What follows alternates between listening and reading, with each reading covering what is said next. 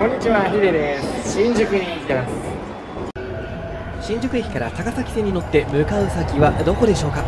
ヒデズ聖地巡拝チャンネル。新しい旅のスタートです。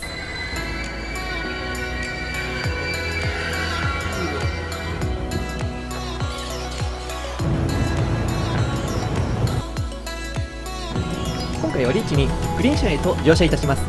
旅行気分でちょっぴり楽しみですね。まだ午前中なんですけどね。早速ビールも飲んでいきましょう。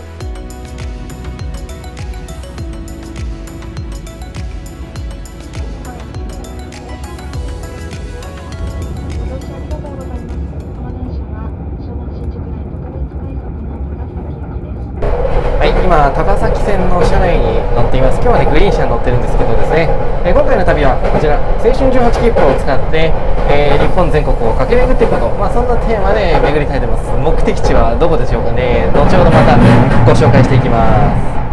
ここは群馬県の高崎駅ですね全国掲示板にある通り水上の方に向かいます水上では今でも SL が運行されていますので駅から徒歩5分ぐらいのところにこういった形で展示をされていますはい、じゃあ、水上駅で生ドラ買いました。こんな感じのですね。いただきます。うん、チョコ味だね。美味しい。旅はまだまだ続きます。続いて上越線に乗車します。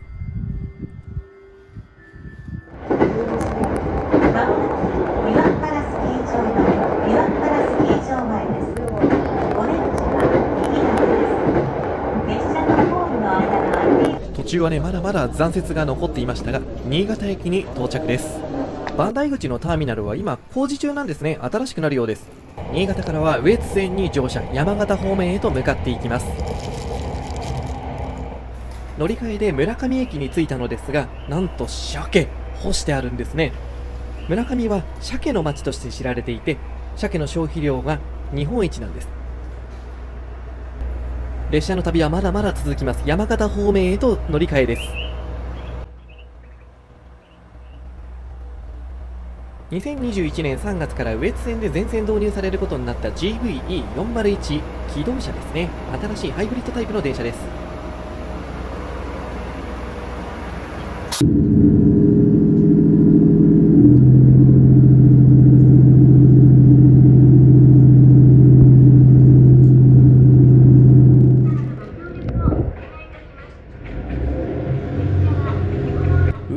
海が綺麗なんですけどもすっかり夜になってしまいました。車内はこんな感じ。2020年製の川崎重工製ですね。まだまだ綺麗ですよ。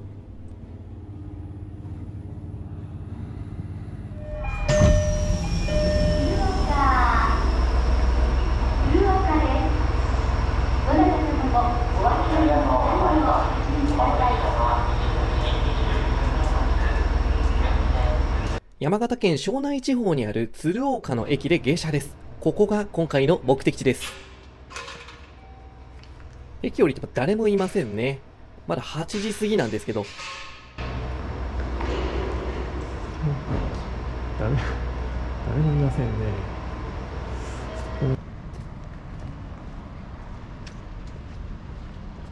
駅前にモニュメントがあったのでこんな感じで通ってみました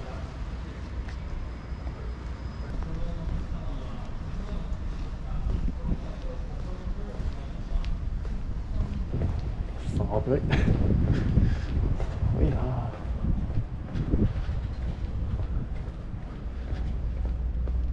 さあ、ということで、今日はこちらのホテルに泊まりたいと思います。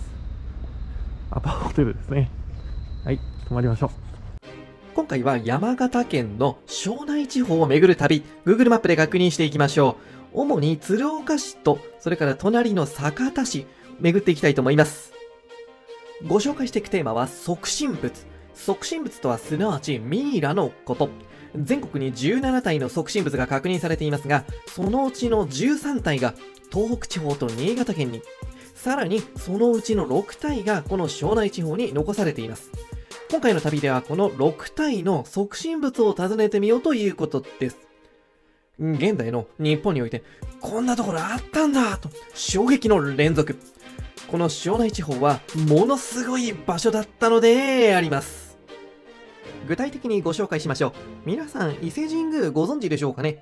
伊勢参りの風習は江戸時代に始まり、平和な時代の中で貴重な旅文化というのが形成されました。